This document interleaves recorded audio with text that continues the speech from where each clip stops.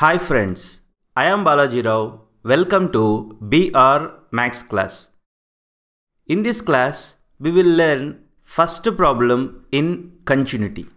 You see this question, prove that the function f of x equal to 5x minus 3 is continuous at x equal to 0 and at x equal to minus 3 and at x equal to 5. Actually, in these three problems are involved. Here, you need to know this definition. When we say function is continuous at x equal to a, we know that limit x approaches to a f of x equal to f of a. Then what we say? Then we say that function is continuous at x equal to a. I'll write here. Uh, if this holds good, then we say that f of x is continuous. f of x is continuous where at x equal to a. Okay. Limit x tends to a, f of x equal to f of a. Then we say that function is continuous at x equal to a. First bit in this is we need to show that function is continuous at x equal to 0. When we say function is continuous at x equal to 0, you observe here. Limit x tends to 0. You observe in place of a, I written 0 here. Limit x tends to 0. f of x equal to f of 0. Then we say that function is continuous at x equal to 0. So first I'll calculate this value limit x tends to 0 f of x. Next I'll calculate f of 0. If both are same then I can say that function is continuous at x equal to 0. So first you calculate limit x tends to 0 f of x. Limit x tends to 0 f of x. That equal to limit x approaches to 0 f of x. What is the function here? The function is 5x minus 3. In limits, different types of methods are there. How to calculate limit of this function? For any limit problem, first we try by direct method. That means in this function, wherever x is there, there we will write 0. This we learn in limits chapter, how to calculate this. In this function, wherever x is there, there you write 0. What you will get? 5 into 0 minus 3. 5 into 0 is what? 0. 0 minus 3 is what? Minus 3.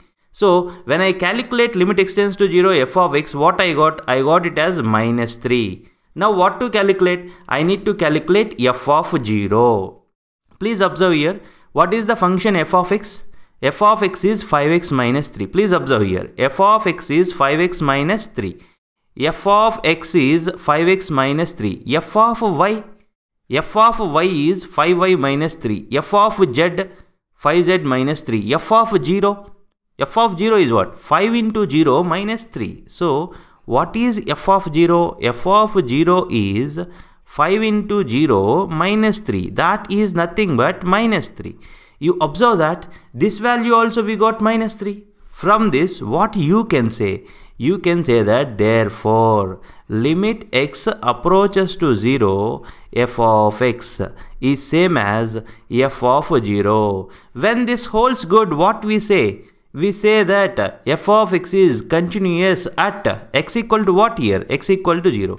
So what we say? Therefore, we say that f of x is continuous. f of x is continuous where at x equal to 0. Therefore, f of x is continuous at x equal to 0.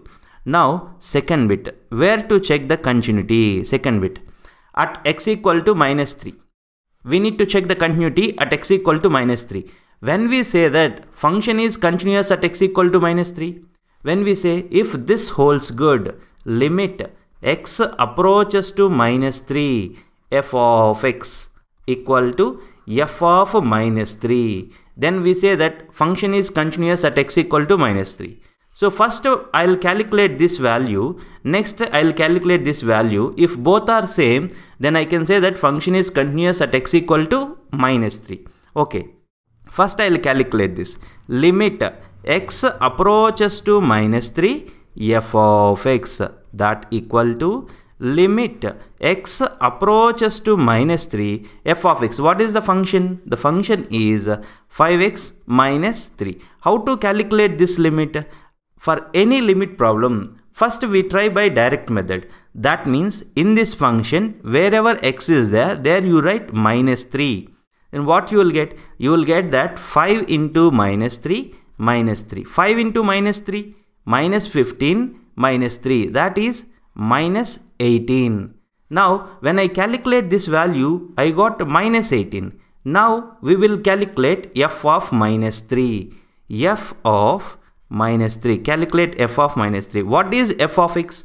f of x is 5x minus 3. What is f of y?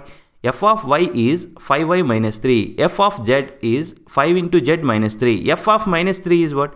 f of minus 3 is 5 into minus 3 minus 3 that what you will get minus 15 minus 3 that is minus 18 you observe here this value also we got minus 18 so what you can conclude here you can conclude that therefore limit x approaches to minus 3 f of x equal to f of minus 3 when this holds good what we say? We say that f of x is continuous. F of x is continuous. Where at x equal to minus 3. Similarly, I want you to try this bit.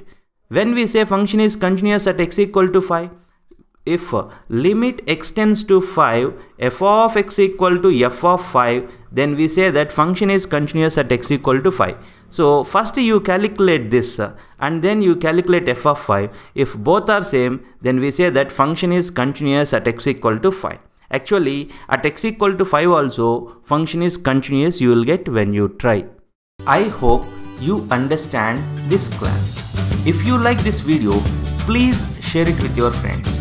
If you are not yet subscribed to my YouTube channel, subscribe now. Thanks for watching. Have a great day. Bye bye.